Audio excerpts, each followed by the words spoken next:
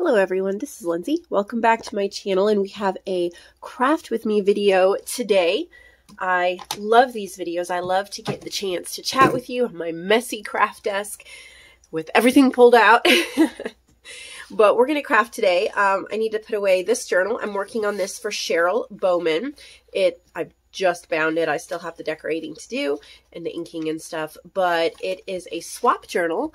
Um, I do Amazon swaps. I have a Amazon or scrapbook.com wish list that you can request and send me something off of that. I'll make you a journal. And anyway, I'm working on this one for Cheryl. She was so sweet to send me some items I was wanting and I'm creating her a journal. That's not what we're working on today though. We have been for With Our Craft With Me videos, we've been working on trying to use up an entire book and seeing how many things we can come up with with that. And uh, we've been using the Time Life Book of Annuals from 1971. We've done a bunch of projects already.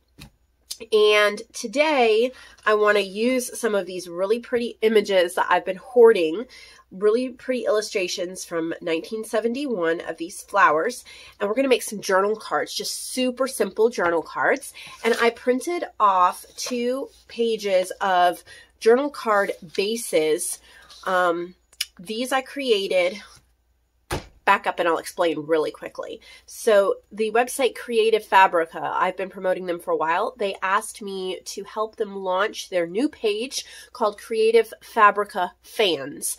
If you're familiar with Patreon, it's similar to that, but it's only craft related. So you don't get lost in all of the different things going on with Patreon. It's just for crafters and you can follow and support your favorite crafters. So they asked me if I would do a page for them and help them out. And um, I said I'd give it a try. So I have a page over there. Uh, you can, I'll put the link in the description box below.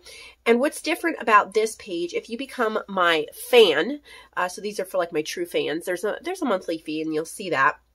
I don't expect anybody to do it. It's just if you want to, I appreciate the support. And then I give exclusive tips and goodies. And so what is different about this page versus say my Facebook group, it's not public, it's exclusive. Um, and I go more into the details of how to do things. Um, so it's not just, oh, here's a digital, figure out how to use it. It's, I created this. This is how I created it. This is how you can use it. There's exclusive downloads, exclusive tips, exclusive things that you'll get freebies, um, where other people would have to pay for things, stuff like that. And you can check it out if you want to. And if you're not ready to join, but you think it's a cool idea, then maybe just bookmark the site and come back to it in a few weeks or a couple months and see if, you know, it would be a better fit then. Anyway, enough said. I hope you'll just at least check it out. I would appreciate it a lot. I'd like to help it be a success and I'd you know, like to grow my fan base for sure. So I created these journal card bases and they are uh, public domain image. This is a vintage end paper that I found from a children's book and it's just a soft neutral floral and I added just a little lace border.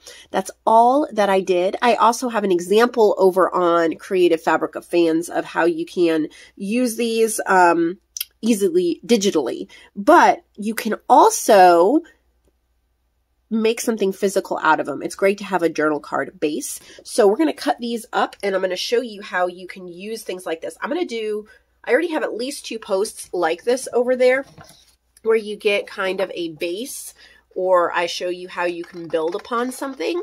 So that's what we're going to work on today is just crafting with these and using up a book.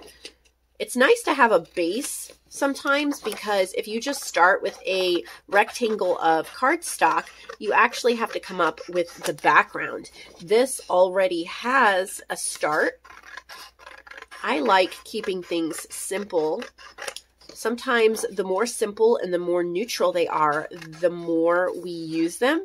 At least I find that to be true. So let's, we will cut these up and make some beautiful, beautiful journal cards. I am excited. And we're going to keep it super simple. Um, I love tutorials where there's lots of steps but sometimes all I need is just an idea. I just need a jolt of inspiration. I don't need um, a 50 minute long video with 10 steps. There's times when I do want that because I want to learn new tips, tricks, techniques, and improve myself. But there's times I just don't have the energy for that. And I want to do something simple that I can do in just a few minutes. And that is what this is. You really only need paper and then you would download this from Creative Fabrica Fans. You can use it as many times as you want. You can um, sell the things you make with it. You could even alter it digitally and sell those digitals. I am fine with that because it is a public domain background. Okay, so these are the cards. We're just going to start with six um, cards here. And then I am just going to look for these little tall images here, like this um, cup flower. This is a cup flower. I'm going to cut it out of the book here. And just going to trim it out.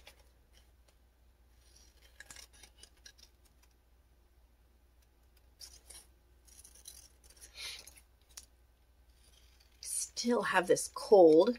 It's just that time of year here. Oh, let's see. What do I want for ink?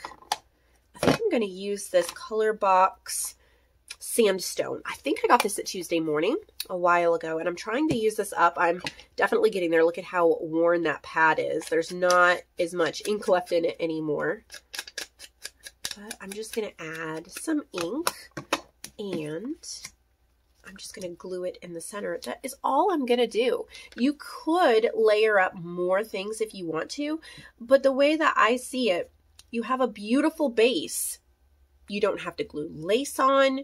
You don't have to do anything like that. All you have to do is glue on an image. I'm going to use my art glitter glue that I have been loving. Can't believe I waited this long to try it. Just going to glue that down in the middle. And then I'm going to ink around the journal card to make it look completed. Look at how amazing that is. I mean, it looks like a really nice completed detailed journal card. And all I did was cut out the journal card base and then glue on an image. So if you have a book, cut out images, glue it on. Of course, you could cut out um, other digitals. You could use ephemera from like a Tim Holtz ephemera pack. There's so many different things that you could do. All right, so I'm going to use this fountain grass next.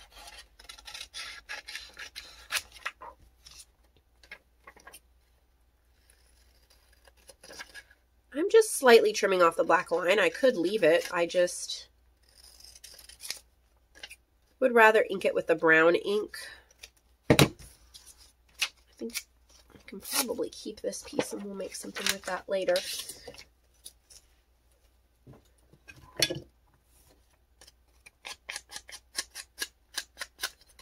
So it's not a lot of steps. It's not very difficult. But in a very short amount of time, you can have a whole stack of cards ready to go in your different journals. And the background is so neutral that you can make them in so many different themes. Look at how pretty. I'm even surprised at how pretty they came out. I mean, I knew they would be pretty, but I didn't think they would look so soft and sweet.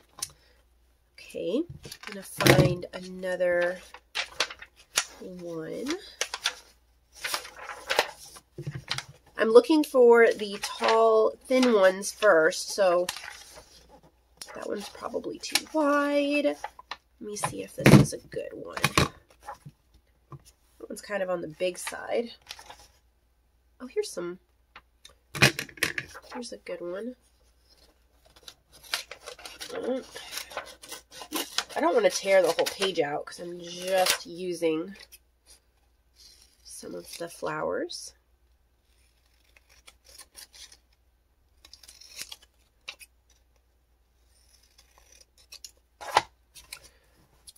I always enjoy crafting, even when I'm not feeling well and I have a cold. But then I want something simple. You know, I don't want to have to think too much about it. I just want to relax and enjoy it, look at the pretty flowers, have the joy of putting something together without using too much mental energy. So, this is also a great project um, if you are watching TV or you're doing something, maybe talking with somebody and visiting with people, and you still want to craft and you don't want to have to go sit in your craft room, you can just, you know, even put them in a little bag and take it with you somewhere. It's just a great quick project. Okay, so we're going to have to go back to the beginning of these flowers and see. Wow, there's a lot of them in this book. Oh, here's two a corn cockle, and a cloud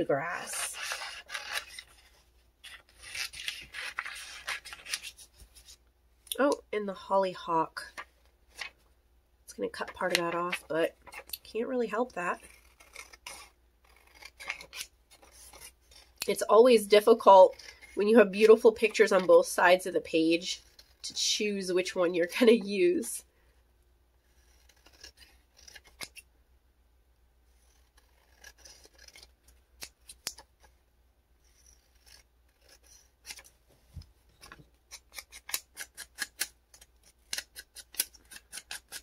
I'm going to go ahead and ink them both while I have my ink pad out. You could add stitching if you want to pull out your sewing machine. I really don't want to deal with my sewing machine right now. It is here next to me, but it's an extra step. And like I said, I'm not feeling well, so we're going to keep this simple. Never, never feel bad about keeping a project simple. You don't have to do all of the crazy techniques every time you go to your craft room. You can just spend the afternoon gluing on images. So, as I was talking about Creative Fabrica fans earlier, um, I'm going to be adding multiple posts a week. It's not a club like my image clubs or something like that. It's just a way for my fans to support me. Um, this is my job and I have three kids that I take care of, and a husband, and a church, and family, and I'm busy. And this helps provide for a lot of our needs. And so it's just another way to bring in some income, but for me also to have a chance to share things with you like this, to come up with things new that are exclusive and different. And I think like this, these journal card bases. Yes, I could sell them in my shop, but they're they are pretty simplistic. I could share them on my Facebook group, and I do share things on my Facebook group, but I enjoy sometimes like just coming up with something unique, something that only my fans get. And I'm not, you know, asking anybody to join if they don't want to. It's just if you feel like it it, it just helps out a little bit. And it helps me to promote Creative Fabrica, which they are such a wonderful site. If you are not familiar with what they offer, check out creativefabrica.com. Um, I will be working even more with them in the future. Some videos coming up. They've been, hired me to create tutorials. So I don't know when that website launches exactly, but I'm really excited about that as well. Look at how pretty. And since um we still have time and I have the second one and I want to put these journal cards in my shop, I'm going to go ahead and make six more so that we will have a set of 12 to stick in the shop. And now that you know how they are made, uh, you know, you could stop the video now if you wanted to. You could just pop over to my shop to buy the set of 12 if you want to. They'll be in the Lindsey's Handmade section. Um, but if you want to watch me continue to cut and glue and chat, if that is relaxing for you, then I would be so happy to have you stay for another few minutes while I finish the set of journal cards. I can't believe I haven't created more bases even for myself to craft with because I have so many ideas on how I can use these. I think they would be really fun um, in conjunction with some of my image clubs as well, like print out a set of vintage image club illustrations and then cut them out and glue them on top of this. And then also playing in Photoshop or if you're starting out with a little bit of digital design, maybe you don't even ever plan on selling it. You just think it would be cool to maybe make something you could print out and put in your journal. I highly recommend that you check out BeFunky, B E F U N K Y, befunky.com. Um, they have a free version and a paid version. I uh, pay $6.99 a month for the pro version so that I can use everything, but you can still do a lot in the free version. And I'm going to be referencing that in posts on my fans page because it's just so easy to use if you're new. You can pull up this image here uh, um, in that and then just add on another graphic on top of it. BeFunky also has, this is not a sponsored post by them or anything. I pay for the service. I just, I just think that you guys might be interested in knowing what they offer, but they have a bunch of graphics on there as well. And you can just drag the graphic on top of it and you have a journal page. Use the text block and then write your favorite word like journal or create or inspiration or something like that. So it's endless what you can create and you can do it easily without having the learning curve of Photoshop. And I honestly, even though I've taken some uh, courses or classes or tutorials in Photoshop, and I've used Photoshop for years, I still go to BeFunky for a lot of things because of how user friendly it is. And then I use um, Photoshop for either more advanced things or things that I've just familiar with using Photoshop for. So that's another thing that I'm going to be doing a bunch of over on my fans page is just giving you some basic simple instructions on how to make simple, simple digitals. So we're not necessarily going into all of what every single button does, but just a simple you know, you can stick this on top of that. I think my post today, I was talking about PNG files and the transparent backgrounds and how you can just plop it over on top of something else. And I shared a PNG that I created that I think you guys will love. If you're familiar with my Canadian wildflower script journal cards, then it has something to do with that. So I want to check it out. Occasionally, I'm going to throw in a public post over there too. My first post is public, which means you don't have to join to um, read it or learn from it. So I want to make sure everybody gets something over there, even if they can't uh, pay for it. And I think it's just so cool to have something like Patreon for the craft community. Patreon has been too overwhelming for me. Um, I've considered starting a Patreon page. I've only ever, I think, supported one person on Patreon, and that was Jessica. Um, I'm a cool mom back in the day. I think she just changed her name to Paper Terrace, which is beautiful. But back in the day when she was I'm a cool mom, I followed her on Patreon for a little while and I considered having a Patreon page. It was just too overwhelming. But the people at Creative Fabrica, um, there's a sweet lady there, Valentina, that I, oh, I cannot tell you how amazing she is to work with and how much she encourages me, lays things out for me when I don't know what I'm doing. I was very overwhelmed with Creative Fabrica fans and dreading trying to put it together because I like this is not going to work. I don't know what I'm doing. She was so helpful to step by step help me. And when I actually got into set up the page, I was blown away at how easy it is, how beautiful the interface is, and I can already start to see, um, they, they just started it today. It's just open to the public today. And I'm seeing other designers that I'm familiar with over there as well. Um, Busy May Designs Oh, I love her stuff. Joanne and I use her um, digitals to create some of our Dreamy Design Club kits. I saw that she has a page over there. Marcy Coat, um, she has a page over there.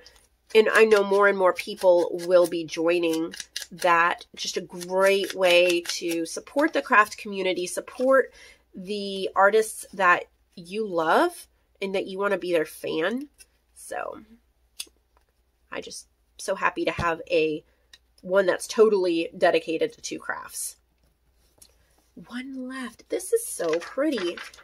And if you are an advanced paper crafter, I apologize for how simple this project is. But I don't know. I just sometimes the simple ones they inspire me the most. It's like, oh, how come I hadn't thought about that?